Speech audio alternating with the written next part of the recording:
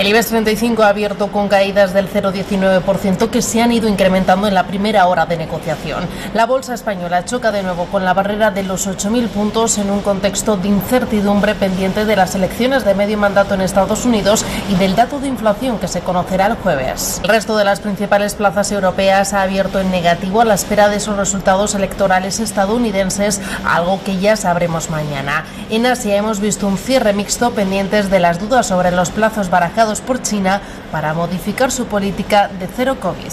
En las divisas el euro cotiza a la baja cerca de la paridad con el dólar. Si nos fijamos en el mercado de deuda, los bonos continúan al alza. El español alcanza el 3,42% y el Bund alemán el 2,37%. En las materias primas, el precio del barril de Brent de referencia en Europa frena su escalada cotiza por debajo de los 98 dólares. Y de vuelta al selectivo español y por valores, Grifols, después de presentar resultados, lidera las caídas con retrocesos que han superado el 4%.